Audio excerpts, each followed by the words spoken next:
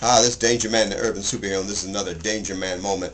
I just wanted to comment on this very sad, um, very sad story here. Just a day or so ago, a um, six-year-old boy in West Virginia um, shot and killed his two-year-old sister. Very sad. With a rifle he got, I guess, for Christmas, and um, and and, I, and from what I understand, he had gotten a rifle when he was like maybe two years old or something. So anyway, he has this rifle. He takes the rifle out, puts it to his sister's head, and pulls the trigger. Okay. That is, I mean, what happened to gun safety? Okay, all right. And this this is very sad because this isn't this is a learned action. You see what I'm saying? Okay. As a child, you just don't wake up one day and go take a gun and put somebody's head unless you've seen that before.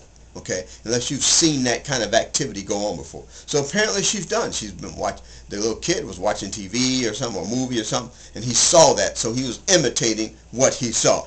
Because this doesn't come natural to you to take a rifle and put it to your sister's head and pull the trigger. Well, that's what he did. Okay, and it's very sad. But there's a lesson to be learned here.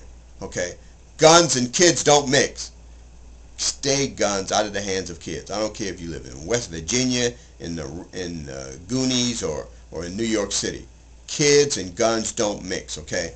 And as parents, we need to understand that. Okay, don't think about oh well he you see he's raised up around guns. Okay, you see what happened when you're raised up around guns?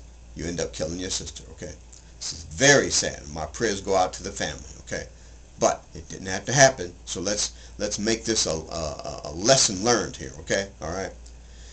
This is Danger Man, the Urban Superhero, and this is another Danger Man moment. You guys be safe out there. If you got guns running around your house or something, you know, make sure that uh, uh, your kids uh, don't get them. All right, don't have don't have access to them.